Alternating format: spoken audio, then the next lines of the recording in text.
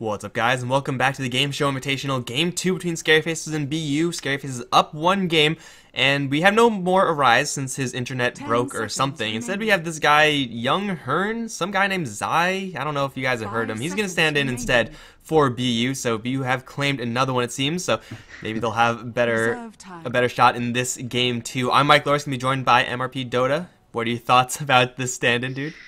Easiest off lane of BU's life. We call them Stand-in United for a reason, I suppose. They are technically disbanded, but looking real strong in this one, and they definitely were in a position to take game one as well. Just a little bit of maybe an early jump towards the high ground without the buyback on their Sven, as you alluded to earlier, and they pay the price for it. SFZ gonna have to look to close them out quickly before Zai takes this one over and maybe takes it to a deciding game three. All right. It is worth noting that, uh, I mean, obviously Zai usually plays off lane for Secret, and yeah, BU just lost the player who played mid, right? Was Arise? Off lane. Off lane oh, clock. Right. I mean, there was a dual lane, so you don't really know, but uh, yeah. this may juggle their lanes a little bit. I'm personally still pulling for the mind control mid. I love that shit, but mm-hmm. uh, yeah, who knows what we're gonna see from BU? Probably still Bignum Necroman playing supports, but uh, who knows? Doesn't really matter anyway, as we're gonna have a Tusk for the first pick. Looks like Wyvern as well as that Shadow Fiend gonna be banned out instead in this opening ban phase. Yeah, I said it in the first game. BU did their homework. They took the Wyvern. They banned out the Tusk. This time, first pick goes to SFZ. They ban the Wyvern. The Tusk is taken by SFZ. This is a, a hero that they're very comfortable with, and they're going to look to get aggressive early on. Both teams favoring the mid, State 21 and Mind Control heroes being banned out here. Leshrac SF and the Queen of Pain taken out early. Can still look for something like a Storm Spirit for State 21. He also plays Zeus from time to time, uh, but Queen of Pain, SF, definitely two heroes that I see him on more often than not. Yeah, get rid of those comfort heroes. Sometimes the comfort hero is just more deadly than a mm-hmm. hero who is quote unquote a metagame hero. But you know, Tusk is a first pick. We've been seeing quite a bit of it. Undying was previously first banned out, and BU going to grab a Gyrocopter with this as well. So definitely looking to put up a little bit more early game pressure in this yeah. game. Probably looking for something like a Rubik or something along those lines for their support, maybe even third pick. Uh, SF Techies versus Zai, just to troll him. Why not? Be damn good combo. But here's either... how to do it, Zai. You scrub. We're gonna do it to you. See how you feel. Uh, yeah, I, as you mentioned, it's really uh, BU just opening saying, "Oh, so you want to take this early game, do you?" Uh, Dirge gyrocopter, so that is something scary to snowball into, to say the least. Tombstone, Rocket Barrage, gonna do a lot of work for them. So SFC maybe have to rethink uh, or retool their strategy just a little bit here. Definitely don't want to jump into a, a tri lane containing those heroes even if it's not a tri lane, Gyrocopter Undying can very easily go into dual lanes if BU want to mm-hmm. grab someone like a Spirit Breaker to really jam home the early game. Again, they need some sort of stun for the Gyrocopter. Uh, usually yeah. you want something along the lines of Rubik so you could pull the enemy into your Gyro and then Rocket Barrage him down. But they have so many options right now, BU, with these lanes, and it's going to be scary faces to grab the Naga Siren once again. That song was a pain in the ass for yeah. BU in the last game, but we did see Naga Siren do pretty much nothing in the early game. And this yeah. is going to be, this time, a lot more risky since BU have a Gyrocopter and a Undying. You can very, very easily punish a Naga Siren support. It's actually a really good counter to the Undying, though. So I understand the pickup here. You, you just song away, kill the Tombstone off, and then continue to fight. So it does take away a lot of that Undying's potential in the fight. Also, if you're able to bring him down quickly and he's not able to sustain and get a lot of decay stacks off in the fight, that does benefit you as well. But it does seem like uh, Scary Faces are a little bit pre predictable uh, with their couple picks, albeit, as I mentioned, uh, they are very comfortable with these two supports. Right, these are supports that can very easily like bail people out, like with a snowball. Hell, even with ice shards, sometimes you just get a free uh, get out of jail free card. But That obviously Ensnare and Song of the Siren can do the same for from the Siren. So BU, they're gonna have to burst their targets down, else their prey might escape them. It's gonna be Bloodseeker to be banned out, Broodmother, Io, lots of those annoying heroes being kicked out from the Scary Faces end. But I mean, I don't really know if Io would even fit in right now. And Io last game was I mean, I, guess the overcharge was really useful, but mm-hmm. outside of that, there wasn't really any, you know, huge dominant relocate gangs. There was a couple, yeah. but that's about it. I think you touched upon the, right word there. It's just annoying to deal with. Uh, definitely with the flak cannon from the gyro and the overcharge as well. Burn away those Naga illusions, take away some of the fight potential from SFZ, and just the relocate. Probably not willing to deal with that too much. Uh, they do want a five man, it seems, does SFZ from game one. And with the Song of the Siren, it makes sense to do so. So taking away kind of that split push and uh, uh gank potential from BU. BU going to go right back for Ramses Darkseer, or sorry, uh, uh, Ramses Darkseer in game one for SFZ. BU going to pick that up for themselves in this game too. Hmm, so this is here that uh, Mind Control was playing a little bit yesterday. It was mediocre, perhaps, but mm-hmm. up against a Tusk, uh, yeah, Surge is going to be a pretty useful tool. This is looking a little bit less like it's going to be dual lanes for the BU side. Otherwise, we would have seen like a more you know, supporty pick, a Lion or again a Rubik, uh, as I was mentioning before. But remaining. hey, just put Darkseer up against these already two melee heroes. Ion Shell going to be doing Five some serious work. Remaining. Yeah, definitely. So again, we'll see uh, State 21's Storm Spirit banned out here. Pub Seeker taken out as well from BU. Speaking of annoying, and they are going to be a little bit hard pressed to find something for uh, SFZ for their mid lane though. But look for something that can get aggressive uh, a little earlier on. Maybe even something like a Brewmaster. We could see the Viper here. He's pretty good against what BU have to offer. They don't really have much lockdown. So for him to walk around in the fights, get his corrosive off, get his slows off on everyone can be pretty damn uh, pretty damn good for SFZ. They're going to pick up Disruptor here, so it looks like it could be a, a core Tusk. Maybe even they put the Naga in that role. Yeah, Scary Faces do have quite a few options at that point. It's going to be a Dazzle for BU as their fourth pickup. Not exactly, again, that support hero that I really expected from BU because mm-hmm. Dazzle has no CC. Don't even make that argument about Poison Touch. Poison Touch is so bad. They, it's they so have bad. No it's not going to be levels. Yeah, there's no level four poison touch anytime soon. So yeah, for BU, it, it seems like they're kind of deviating away from this super aggressive start with the gyrocopter and undying. Dazzle and Darkseer, though they can do some early game yeah. shenanigans, they can play very aggressively. They typically aren't like all in on the aggro. Yeah, they're kind of just picking stable laners, it seems. Uh, they pick up the Dazzle early. The Darkseer was very self-sufficient, as we saw in Game 1. Ramsey's doing well uh, versus that dual lane. Of course, up against the Tusk, maybe a little bit uh, harder uh, especially with the glimpse available to him uh, to counter up that surge. Interesting carry pickup here for SFZ. This could, of course, be the offlaner, um, but as we just alluded to, very little disable on BU's side at their disposal. Linken's Sphere going to prove pretty damn good in this one. Stop the homing missile, and that's almost all that can pop it aside from the poison touch. So, will be uh, a really nice Weaver game, I feel.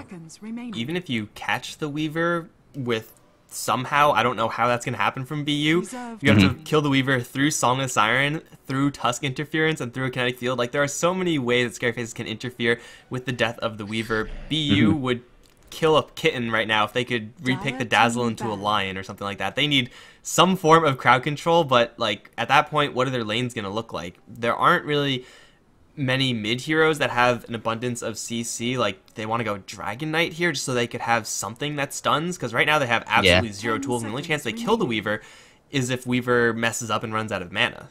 It definitely sticks with this five many theme that they have uh, for BU. They are going to ban out the Viper. BU does. I felt like that would have felt uh, fit well with Scary Faces. It seems like they agree with me. Great call by you there. The DK is going to come out for BU. It adds a little bit of push to their lineup. Uh, does add a lot of AoE as well later on. So the flak cannon on top of that splash damage from the DK uh, could be pretty good, but it does uh, a little bit. It is a little bit concerning for their ability to scale for me. Undying tends to fall off quite a bit uh, later on. Darkseer falls off at some point as well. He can get a lot of utility items for. Uh, your team, but he's not going to do too much damage unless he gets some great walls off. So it is a lot on the back of this gyrocopter for BU and a lot on the Dragon Tails. The Dragon Tail, uh, probably uh, off a Shadow Blade as well. That should be part mm. of the mm. build for DK, just so that he can get those initiations off. If those land properly, if they you know pick off a Disruptor or whatever before the fight really begins, then BU can kind of ignore the Weaver. Like Weaver will need a lot of farm before he's actually a significant threat. Uh, before then, he's kind of just an annoyance. But you could kill off the rest of the other non-Weaver heroes from Scary Faces with the uh, non-amount of CC that you have, and then you know kill the Weaver later. It's gonna be a Lina, however, for Scary Faces as their mm. last pick versus the DK, and I'm happy to see Mind Control playing the DK. Most likely that means a mid DK for him, but yep. up against a Lina, that's really really a tough sell. he's going to have a rough time for sure. State 21 is a very capable on this Lina and just a generally great mid player. Uh, I love to see mind control kind of on his more space creation. Uh, um, typical mids with the Storm Spirit and the Queen of Pain being banned out, though. He's going to be forced into this Dragon Knight. So look for him to probably have to bottle Crow, and uh, for that reason, maybe a little bit of sacrifice from the early power of the other supports in lane not being able to get their items out. But I, I like the Lina pickup here. The burst will be nice against uh, a Dragon Knight who is very tanky against physical damage, uh, but not so much against the raw HP type magical burst. So uh, once he gets up that Aghanim Scepter, uh, guaranteed pure damage should be very nice for SFZ. Who do you, whose draft do you favor overall? I'm still feeling SFZ's. Like I like how mm-hmm. BU have finalized their draft. I think that's the best that they really could have done. But this Weaver is just going to be such a pain in the ass, and yeah. Lina has such an easy lane versus the DK that I think Scary Faces are going to, you know, have a pretty easy time in this early stage, unless Eknart gets picked off right now. Looks like that's not quite going to be the case. But uh, guys, BU, they're a game down, and they've already won some money for this tournament, but of course they're looking to get a little bit more. They're going to put Come With Me on the Gyrocopter. Bignum is going to be playing the Dazzle. Necroman's going to be playing the Undying with Young Her, and that is Zai. Don't let anyone in the chat tell you differently, is on the Darkseer. so off lane Darkseer Zai, that's something special right there. And Mind Control is going to be playing the mid lane DK. Yeah, on the side of SFZ towards the off lane, we've got Eknart once again picking up his Naga Siren. That's going to leave Ramses on the core Tusk. And over towards that top rune, Space 21 or State 21, as he's more commonly known, on that Lina. That'll leave Shadowy on the uh, Disruptor. He had a great game on Dazzle in game one, so look for him to make some plays with that Static Storm. And finally, the very versatile Quista going to be picking up the Weaver. It's Weaver versus Darkseer for right now. Even if that's just a 1v1 matchup, which it isn't going to be, Shadowy's going to join him up right there. Weaver should be just fine. Like, it is very yeah. annoying to have your tower pushed as Quista, but hey, you get like a Ring of Aquila or something, you can very easily kite the creeps, keep your tower for the most part alive, and well, Darkseer now is going to be up against two range heroes. He is going to Ion Shell everything, and we'll just go straight to the creep wave, but uh, yeah, I don't know if this is a sustainable tactic from Zai. Yeah, he is going to have uh, Necroman join him up uh, as the Undying in lane as well. I like this laning decision from Burden United. I feel like the Gyro should farm fairly well. Speaking of which, though, he takes a bunch of harass bot lane. Didn't pick up Rocket Barrage at level 1, and perhaps uh, Ramses and Eknart became weary of that and looked to jump in on him. But the first blood is going to be gained top lane. Necroman, they're going to go down. He's going to be the trade over to Quista. Uh, but they do get that extra gold bringing down Shadowy. Man, I did not expect that kill to actually happen. Disruptor is, you know, notoriously soft, and Ion Shells with Undying's Decay, of course, making everyone's life a little bit less, is very deadly. But, man, I was more curious to see what was happening on the bottom lane, because there's mm-hmm. very, very few scenarios where you don't pick up Rocket Barrage level 1. Yeah. And especially up against a Tusk, that's a very clear, I want Rocket Barrage in case he snowballs towards me. Mm-hmm. So, yeah, I think that could have been, well, an even earlier First Blood for BU, but it is actually going to be a 1-1 trade to start things off, and we already can see the aggressive power of this top lane, mostly onto Shadowy. The Weaver doesn't have much to worry about.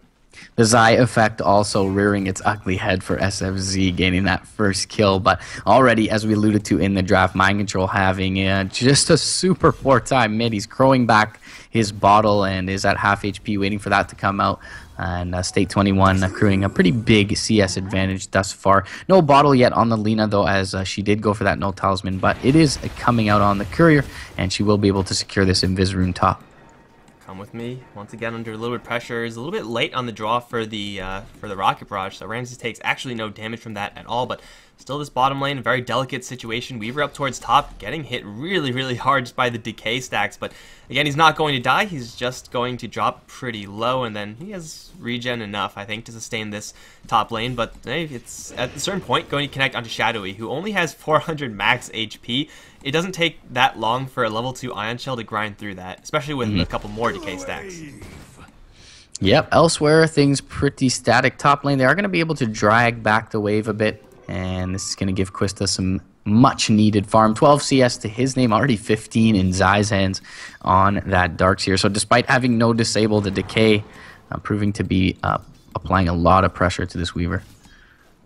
All right, so across the board, it looks like uh, Scary Faces. I mean, the top lane is potentially a little bit difficult, but bottom lane, mm -hmm. the Gyrocopter is still getting his farm, and right now for Scary Faces, they're not able to actually do that much with this kind of just laning support Naga Siren.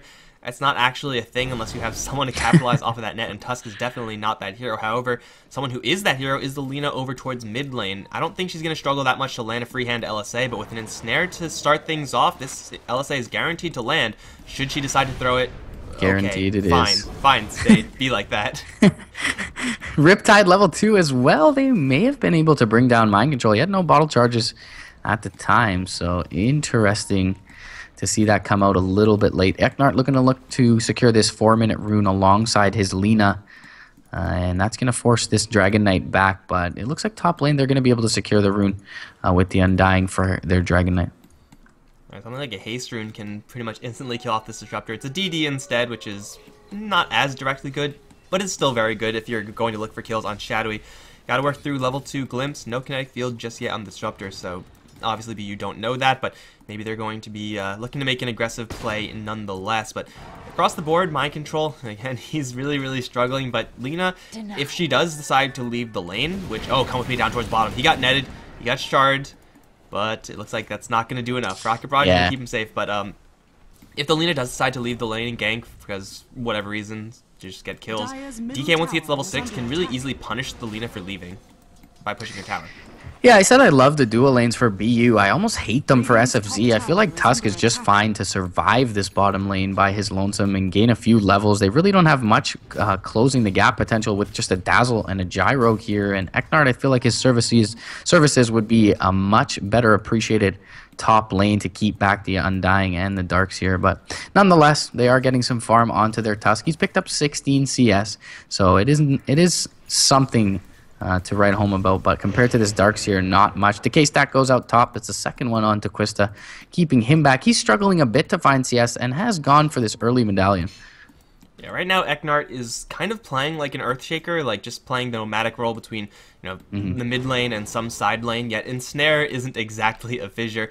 I thought Eknart was going to be playing primarily in the jungle. That's what we saw in the first game. And right now, I mean, yeah, Zai and Necroman, they're dangerous if they find the Naga Siren in the jungle, but the odds of that happening are pretty slim. Yet she's pushing level 4, which is all well and good, but not really doing much else. Uh, man, if they could switch the Naga Siren out for a Shaker, then maybe even Scareface could be looking at a couple of kills right now. But instead, it's going to be top lane to be pushed. My control with that uh, Dragon Tail at the ready, looking for a connection onto Quista or Shadowy. He'll settle for that one as well. Glimpse is available, but he's taking so much damage right now with the Ion Shells. They'll bring down the Disruptor. Now apply a little bit of damage to Quista. With the Tombstone down, they'll force the Weaver out, but uh, it's still Quista playing a very dangerous game right now.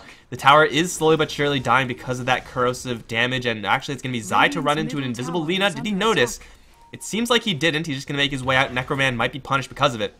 Because here comes State. LSA connects. Laguna Blade's available, but they don't even need it. They'll kill off the Undying, maybe look for a little bit more. Shadowy has that Glimpse, is in range. Not quite. Gonna get fogged out as well. Mind Control needs to TP out like right now. Glimpse still not in vision. And Zai's just gonna straight run out of there. That's a TP canceled by Come With Me, I believe, on the top lane as well. Yeah, bot lane Ramses is a bit out of position, but once again, no catch for this bottom lane, and he'll just put some right clicks into Bignum's Dazzle there. So rotation over to the top lane is not going to get a tower for BU, but it does find a kill. They do trade over the Undying, and now in deny range is that tier 1 for SFZ, so already looking to deny up Quista's farm here. And they should be doing that right away. I don't think there's any reason to keep this tower alive, especially up against the DK, and especially against this pressure where you just keep on pushing in. Yes, he does have a Sage's Mask.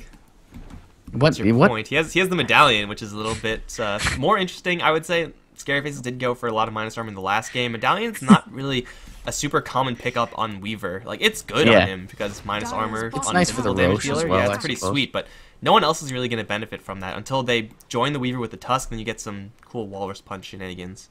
What is this Sage's Mask going to become exactly? Is it just casual? I'm, I'm confused. Aquila? Is it Power Treads Aquila? Yeah, it's probably the Aquila. Yeah, that's a good call. Uh, yeah, going for the medallion early, it's a little odd that I, to see him go back for the Aquila. It's usually kind of a first item, but um, does pick up that band of elephant skin, so it looks like he'll finish off the treads beforehand. Uh, mid lane mind control, doing a lot better than he was. Uh, has picked up 23 CS, was involved in that kill top lane, and did get bring the tower fairly low, but still, State 21 or Space 21 doing fairly well on the Lina. So bottom lane, uh, top lane does get denied, but bottom lane under a lot of pressure as well, simply because no one's there. Quista playing some games with Zion Necroman because he can. And over towards mid lane, Eknart looking for that net. Mike turning around for a Breathe Fire. That might end up killing him with an LSA connecting. They still have that Laguna Blade from before. He's going to pop the Dragon Tail just to get a little bit more space. Healed up as well by Bignum. They're going to try to turn things around onto State. Another LSA does connect. They need Breathe Fire, but there's just not enough mana on the DK. He has 9 stick charges, which should give him just enough. And now here comes Zai from the back end. Space has to run another LSA. Will connect. Vacuum. Ion Shell not quite get into it. Bignum has no tools to help out there, except for another heal. Eknart, he's going to be chased away by Necroman, but after all said and done, no one's actually going to die. Zai put it in an ice cage, but that's not going to do anything either. Suddenly, there's four heroes in the mid lane for BU, and with Lina so wounded, they can't really mount a defense, Scary Faces. Yeah, they have rotated Ramses in. He needs to find this XP for his level 6. He's got a regen rune as well. So now it does have the Walrus Punch.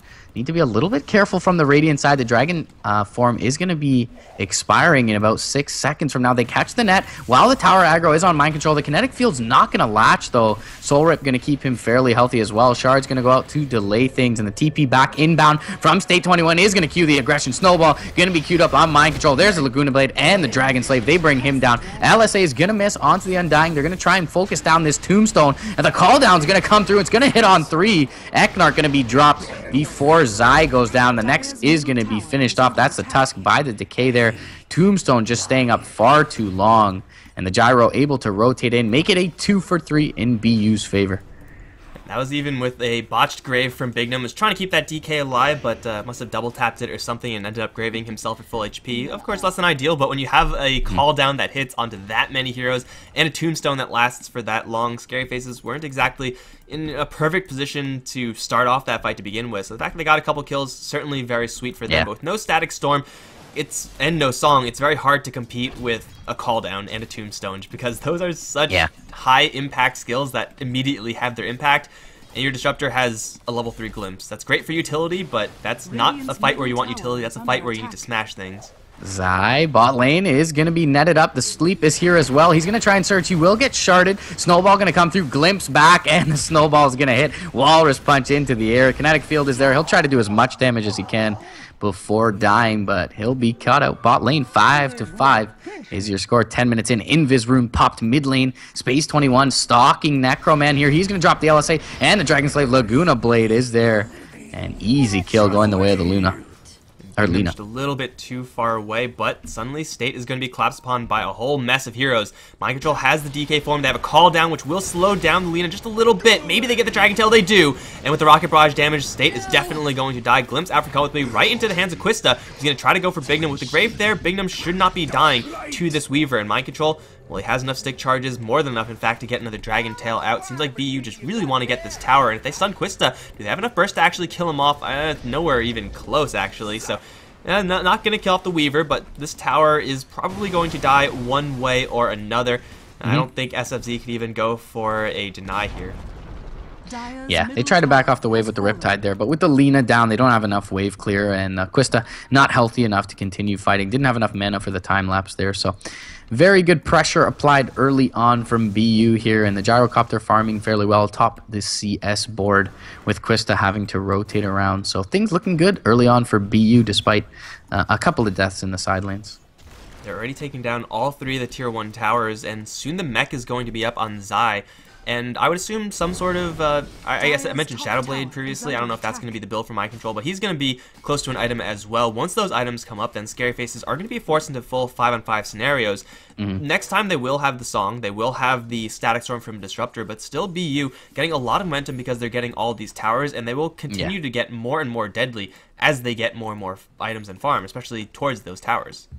Yeah, 3,000 gold lead in their favor, and that's pretty much three towers down. The net is going to be fogged top lane for Eknart, trying to pick off Zai there. Necroman in a little bit of a precarious position, has been spotted out by the ward there, but will be able to rotate out to the west and make it out to safety. Bot lane, they do know that the Darkseer and the Undying were top, so maybe they look to go in on Come With Me here. Now, there is a smoke onto Shadowy, but they've actually spotted out the Dazzle running into the pit briefly, and they're not going to collapse on him just yet. Yeah, they're still looking for Come With Me. This guy has 16 armor, so it's a tough nut to crack, especially with the call down slowing them both in on the advance. Ramsey's going to throw some Ice Shards, but there are quite a few heroes actually mobilizing on this bottom lane for BU. Field goes up to keep Mind Control from actually getting in there, but I don't know. Do BU actually want to go for a Roshan right now? That seems like that's what they're kind of angling for, but I don't think mm -hmm. that's the right decision up against a Naga Siren. Yeah, they don't have enough damage as well to bring it down uh, this early on. No medallion to their uh, hands, and they do have a Mekansm now on the Darkseer, so maybe look for them to ball up. Eknart is going to try and find out mind control with this net, and he is going to net him up. They are going to be able to glimpse him back into the Static Storm. He's already popped Dragon Form as well. The Snowball will be there. The LSA is going to miss. Dragon Slave comes through with the Laguna Blade, but the Grave keeps him alive. He's going to get surged up, but the Sleep will be there. And now no Grave available. Zai and Mind Control caught out of position, but the Dragon Tail and the turn Breathe Fire is there onto Eknart. They'll be able to keep up the Naga, though. They bring down the DS and the DK.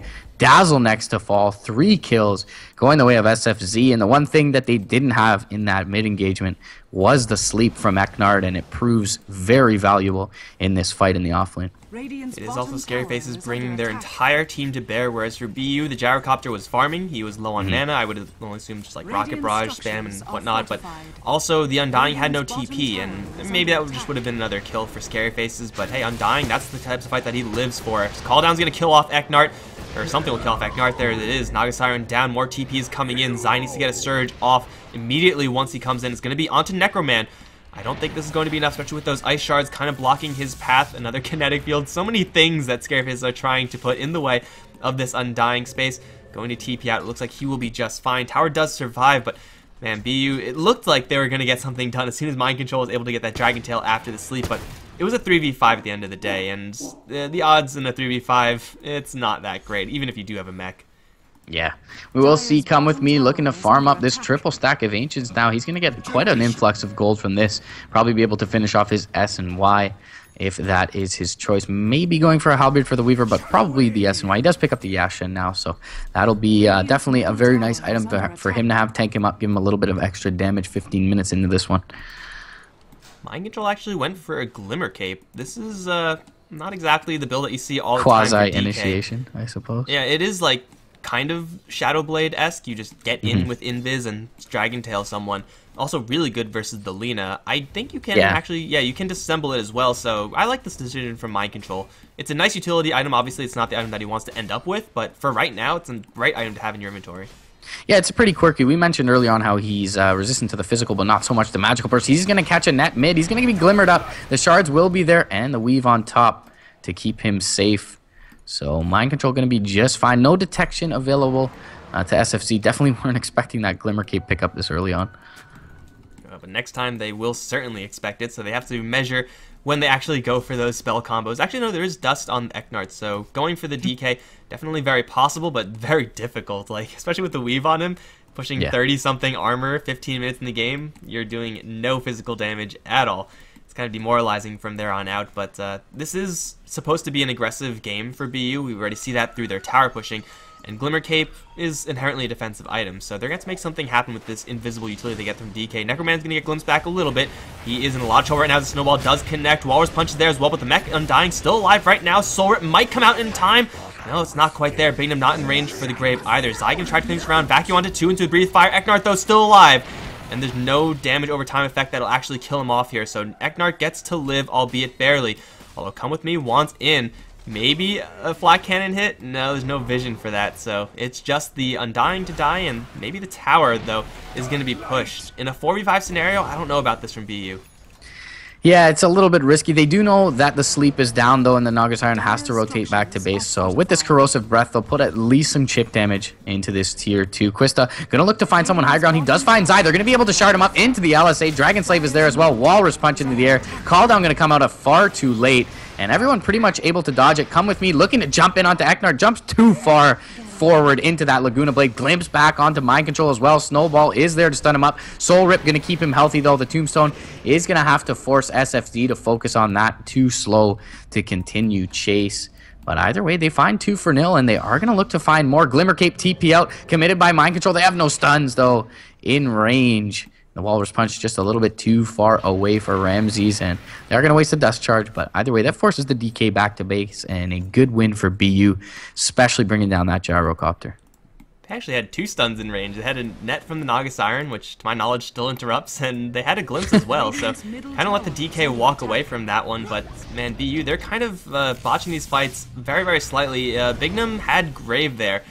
Uh, maybe he was just slightly out of range, but the Graves haven't really been coming out on the Dazzle, or from the Dazzle, like we saw in the last game. Of course, that was played by Scary Faces, but uh, yeah, the Dazzle's Graves have been pretty much having no impact in this game. And yeah, someone like a DK, a couple of seconds of immunity, or a Gyrocopter, that can make the difference between, well, losing a whole bunch of heroes and gaining a whole bunch of kills. Gyrocopter can try to go for Ramses by himself. Snowball is there, but I don't know if this Snowball is going to end well for the Tusk. Walrus Punch, maybe Shards to make a barrier. Come With Me is kind of slowed down, but eh, not slow enough. He's going to take down the Tusk all by himself, and that may very well lead to a top lane tier 2 push.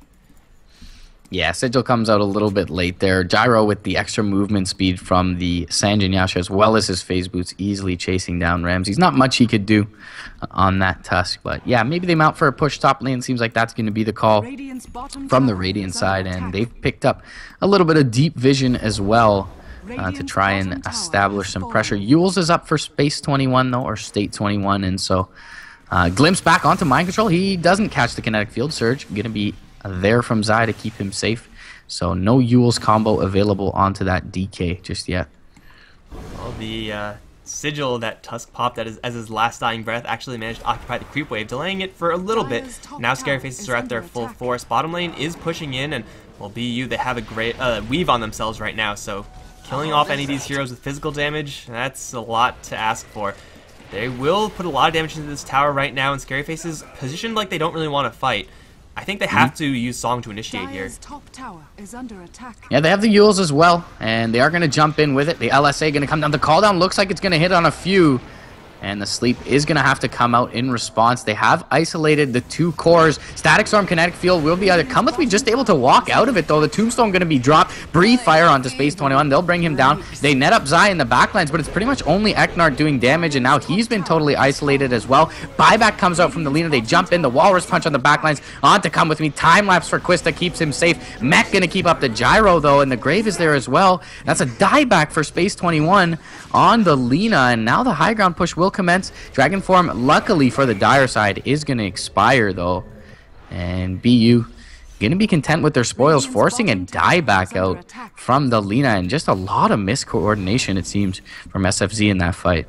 Yeah, that's a 3 for nil in total for BU. They have to teleport back because, again, their DK form is running out, but still, a couple things went very well there for BU. Their positioning was perfect, such that the Static Storm kinetic field could have only connected on any one target, I think, uh, unless Shadow mm-hmm. uh, Shadowy just miscued that. But yeah, the Static Storm only connected on Zai, and then everyone kind of went for Zai, which is, I guess it's kind of important to kill the Darkseer, but he's also like one of the tankiest heroes on the BU side right now, so it's very actually difficult to kill off the Darkseer. In the meantime, Gyrocopter's charging the front lines with a call down, with a rocket barrage, with a lot of survivability, given his movement speed and general uh, armor. Of course, the weave helping out there as well. So Scary Faces they make a questionable decision to initiate onto Zai after kind of botching the Static Storm. And that's yeah. even with the song to open up that fight. So BU take a huge victory, even killing off the tower in the midst of that as well. That's going to give DK his completed Shadow Blade, so now the Glimmer Cape is a little bit more hurty. And, well, with the Tier 2 tower down up towards the top lane, maybe they're going to look towards Tier 2 towers in the other lanes as well, since, well, yeah. they have so much freaking gold, especially this DK, or no, no, the uh, Gyrocopter rather, had 3,300 and he's going to build a Eye of Skadi. Yeah, it's a good pickup for him, as tanky as he already is. A little bit of greed in that top lane from Shadowy, trying to get two in the Static Storm, doesn't latch a kinetic field on the Gyro, and he's able to survive and now has a ton of gold to his name. Ultimate Orb plus 1200. I feel like I would have wanted to see BU go for Rosh there. They had the Illusion Rune onto the DK, could have tanked that uh, Rosh with a couple illusions, but either way, they're going to mount the tier 2 push in the bottom lane. Pop that Dragon Form once again with the illusions. Gonna look to cut up the creep wave, and it's gonna be no defense mounted early on from SFZ. They do pick up the Linkens on their Weaver, but Quista, not the greatest timing on that, despite having Tread's Medallion. 22 minutes, and it looks like the defense is gonna be a little bit too late from SFZ Finding defense that is there is going to be a 4v5 as Gyrocopter is still a little bit far away to this party. Zai going to search himself forward, but he gets Static Storm stuck in the kinetic field as well. Has a mech and the Tombstone is going to die. It occupied a lot of Scary Face's time, but that's about all it did. Now in LSA, that's not going to connect. Eknart in the back line actually got caught with the Rocket Barrage and the Dragon Tail. He's down. Bignum graving himself straight TP out. He's going to survive. And Mind Control, he's still in Viz, looking for space, although he gets caught with the LSA, dropping pretty low, but he's fighting to the death. Laguna Blade, no, it's canceled by Lina. She ends up dying as well. Obviously, the Weaver, the only one to survive because they just don't have enough stuns for him, but everyone else in Scary Face is down. And they kill off Zai only. Come with me at full HP, Mind Control pretty much full HP, Necroman as well. And now that Tier 3 is under a lot of pressure. Luckily for Scary Faces, there's no more Dragon form, but still, this is, might even be a lost Tier 3. Yeah, I mean, we, we talked about it. They don't have much to deal with this Weaver, but he's just not scary enough for them to care. They have so much pressure early on, so much early game presence. They're already breaking high ground here 23 minutes in. The first tier 3 is down. A little bit of a misplay from Lina, it seemed, in that one as well. The glimpse probably on the wrong target. Shadowy able to TP out under the grave. He probably could have glimpsed him back with 1 HP, killed off that Dazzle, but either way, yeah, poor fight for SFZ all in all. The Tombstone taking a little bit too long to kill and they're able to do work uh, on top of that. So SFZ not looking too scary at this point. The Eul Scepter used offensively by State 21 wasn't able to keep him up dueling against that DK. I don't know if you're getting the same vibe, but it just seems like Scary Faces are a lot more panicky in this game. Like, mm-hmm. obviously, using the kinetic field on one hero, or the static storm rather, on just Zai is less than ideal, but that's because the Scary Faces were all clumped up and they kind of yeah. had to just to make sure that they didn't get a hit by a four-man vacuum wall, but Scary Faces, like especially in the last game, we didn't see like that many positioning errors from them. So mm. the fact that these positioning errors are actually there is quite surprising to me. Tier 2 tower is going to drop Quista getting into a man fight right now. Zai vacuums back Eknart, unfortunately in between the missiles. There's no follow-up there. Now he's in a little bit of trouble, however. Gets healed, gets graved, backing himself up. And now State gets caught with the Rocket Barrage and the Dragon Tail Fire Blast. That's going to be enough to kill out the Lina. That's one free kill. Tombstone is down in not a great position, yet this time they have a lot of duration left on this dragon form. So at least this tower is going to take a little bit of damage. Come with me charging the high ground. Both him and Mind Control stuck in the kinetic field. But this tower slowly but surely is going to take quite a beating. With no Lina, I don't know if Scary Faces have enough damage to actually kill off any of these heroes. Yeah, it doesn't seem like they do. They are going to get the Dragon Tail onto Quista. The sleep is going to try and keep him up. He will be able to time lapse out. But still, do they have any follow-up here? The vacuum wall is still available for Zai. And he's going to just have to back off. The Dragon Tail is there onto Quista. Vacuum Wall is going to be able to bring down the Disruptor. They bring Quista very low as well. One last right click. The Snowball not there in time from the Tusk to keep him up. He's down for 50 seconds. No buyback. GG is called under 30 minutes.